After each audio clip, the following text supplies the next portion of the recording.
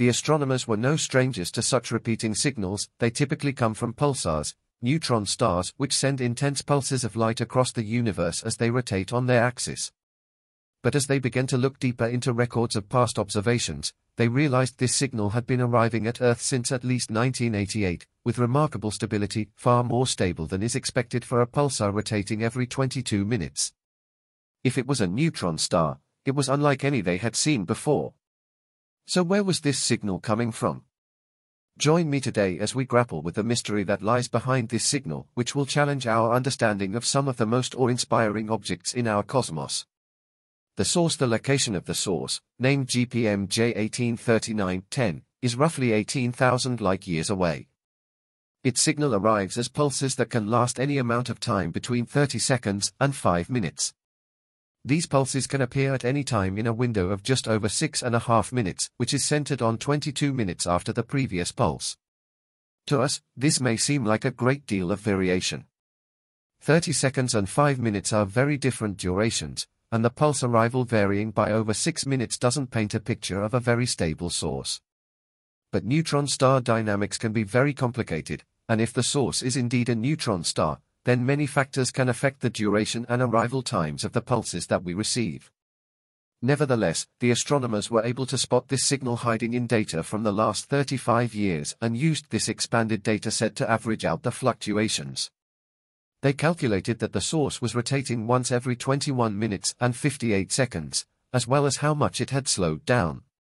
But to their surprise, they calculated that this rotation period remained unchanged over the past 35 years, even though it is expected that the source will slow down as it radiates energy into space.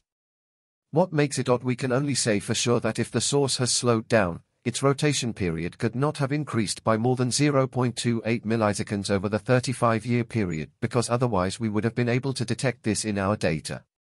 This is an absolutely minuscule amount and it shows that whatever the object is, it is spinning with remarkable stability. This usually isn't odd for a pulsar. These are the timekeepers of the universe, the clocks of the cosmos, mechanistically ticking away with such certainty that we can use them to measure time across vast stretches of the universe. However, this level of stability is odd for a pulsar that is rotating so slowly. To understand what makes it so odd, we need to recap how pulsars work and what makes them slow down over time. Pulsars are neutron stars, the leftover cores of dead supergiant stars which, barring black holes, are the densest objects in the universe. Planets like our own are made up of atoms, which consist of over 99.999% empty space due to the vast separation between the electrons and the incredibly dense nucleus they are whizzing around. But imagine an entire star made purely out of the neutrons that are found in the nucleus. No electrons, no protons, no empty space. Merely a teaspoon of it would have as much mass as 11 times that of the entire human population, all 8 billion people.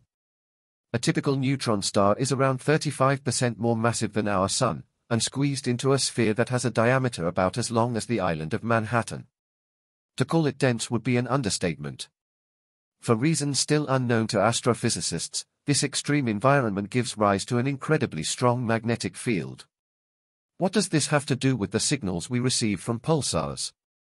Where do the light waves come from? To answer this question, we need to understand a complicated process that gives rise to the signal, an exponentially growing shower of light and matter all spawning from a single electron. How it works near the magnetic poles of a neutron star, an electron can be accelerated by the magnetic field and emit a so-called curvature photon, tangential to the magnetic field line. This marks, if you like, the start of a pulse. The curvature photon moves in a straight line, until the angle between its momentum and the magnetic field line becomes too great. Once this angle reaches a threshold, the light dissipates and imbues its energy into the quantum field of electrons. An electron is created alongside its antiparticle, the positron. The electron-positron pair has some momentum, perpendicular to the magnetic field lines, which they spontaneously dispose of in the form of synchrotron photons. The two synchrotron photons can each then produce another electron-positron pair after they reach the threshold angle between their momentum and the magnetic field lines. This process repeats again and again, exponentially increasing the amount of photons and electron-positron pairs created, until the synchrotron photons no longer have enough energy to create electron-positron pairs, putting an end to the cascade. These photons then beam out into space, while the original electron continues its journey generating more curvature photons and more cascades as it moves along the magnetic field lines. This pair production cascade is why the light of a pulsar is so intense that we can detect a signal from this tiny stellar remnant, thousands of light years away. But why do we see this light as pulses, rather than a continuously glowing beacon of light shining at us? This is because the magnetic poles of a neutron star are rarely ever aligned with its axis of rotation. Just like on Earth, the magnetic north pole that our compasses point to isn't the actual geographic north pole that the Earth rotates around. So the pulsars are like great lighthouses, sweeping their beams of light around the cosmos as they spin. And for an observer far away, like us on planet Earth, we see the beams sweep past us again and again, as the pulsar completes rotations on its axis. These are the pulses of light that our telescopes can detect. However, this is light with very long wavelengths in the radio part of the spectrum, meaning only a radio telescope can detect it. The light that the cascade produced is of the same wavelength, with the peaks and troughs of the light waves fluctuating in unison. The light waves are also polarized, which means they are all aligned along the same axis. This is a hallmark of neutron stars, and this is precisely what we observe in our 22-minute signal. The signal also has fluctuations that last between 0.2 to 4 seconds where the axis of the light's polarization suddenly changes by 90 degrees, perpendicular to the original axis, and then back again. This effect is yet another signature of the cascades at the poles of the pulsars. So much of our data points to a pulsar being the signal that you'd think this was an open and shut case. But one variable that we've mentioned earlier throws this entire theory into doubt, the slow rotation rate of the neutron star or rather, the combination of the slow rotation rate and the high stability of the rotation rate of the source. You see, as pulsars lose energy by shining their powerful beams into the cosmos, conservation of energy will ensure that the pulsar slows down. Eventually, the pulsar will slow down so much that it can no longer power the pair production cascades, and the light emission starts to shut off. The pulsar has entered the so-called death valley, this graph plots neutron stars based on their rotation period on the x-axis, and the rate of change of their rotation period on the y-axis. Death Valley is shown in this gray band running through the middle, and any pulsar that has properties below this line should not be shining as the bright lighthouses they usually are. We see that our signal is below even the lowest line marking the Death Valley, meaning that, if it were a pulsar, it should be well and truly switched off. And yet we are detecting it. Look at the cluster of other known neutron stars on this graph. They usually spin between 10 times a second to once every second. In comparison, our signal has a spin rate of once every 1318 seconds, over a thousand times slower than the typical pulsar.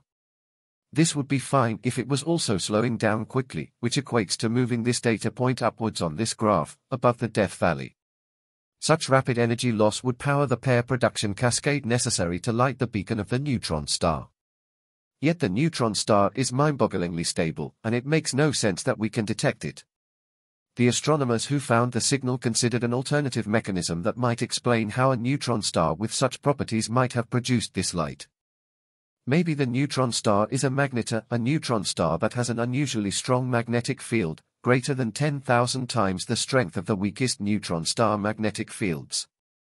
Magnetars are known to undergo starquakes, cataclysmic events that release the tension in the upper crust of a neutron star. These stresses are produced by the strong magnetic fields of the magnetar, as well as the slowing down of the magnetar rotation. A fast-spinning magnetar will bulge in the middle due to the centrifugal force distorting the star from a perfect sphere. As the magnetar slows down, the outer layers need to readjust to a new equilibrium and lose some of the bulge they have. The crust snaps to a new position, causing magnetic fields to temporarily realign and powering the release of the energy as light that we can detect on Earth. The mystery solved the most powerful starquake detected, that of SGR 1806-20 in 2004, released so much energy that if it had taken place as far away as 10 light-years from Earth, it would have caused a mass extinction event. If something is able to light the beacon of a dead pulsar, it would be this. So, could GPM J1839-10 be a magnetar that has undergone a starquake? Have we resolved the mystery of the 22-minute signal? It seems not. We expect these starquakes to also emit light in the X-ray part of the spectrum, yet no X-rays can be detected from the position of the source roughly 18,000 light-years away. It also wouldn't make sense for a magnetar outburst to be going on for over three decades. The starquake is a temporary phenomenon, and the energy dissipates within a few years at most. It is simply incomprehensible that this signal would have existed for 35 years if it was indeed a magnetar. Once again, the unique properties of our signal exclude it from being a neutron star, even an unusually powerful one that has undergone a special event such as a starquake. But, what else could the source of this mysterious signal possibly be? The astronomers who discovered the signal proposed a few alternatives for the identity of the source.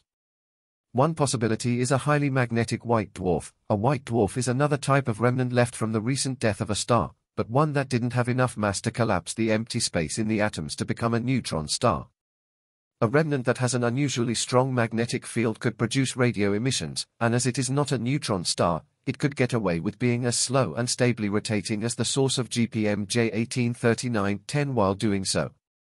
The issue is, this would require an exceptionally strong magnetic field, greater than any we have spotted on a white dwarf. AR Sco is the only known radio pulsar that is actually a white dwarf, and its radio emissions are around a thousand times less luminous than the source of our 22-minute signal. So if a white dwarf is unlikely, what are our other options? Astronomers have observed low-frequency radio waves coming from the interactions between stars and exoplanets, as well as a binary of two brown dwarfs rotating around one another. But this emission is typically even weaker, around 100 million times weaker than the source of our signal. In the end, it seems like none of our theories can explain the 22-minute signal. While the unresolved question about the source of the signal may feel frustrating, this is precisely the kind of mystery that astrophysicists look for. When scientists find new data that challenges our long-held theories, they can usher in revolutions in our understanding of the universe around us. Here, our already shaky understanding of neutron stars is being challenged. The astronomers are confident that the ease with which they identified this signal means similar sources lie out there in the galactic plane, waiting to be identified. Just like GPM J1839-10, the other signals might already be lurking in the data we have collected. Identifying more of these signals will shed light on the process powering emission beyond the neutron star Death Valley. Whatever lies behind the 22-minute signal, we are sure to learn of an entirely new phenomenon that we have never seen before. Isn't that exciting? What do you think could be the source of the 22-minute signal? Let us know in the comments below.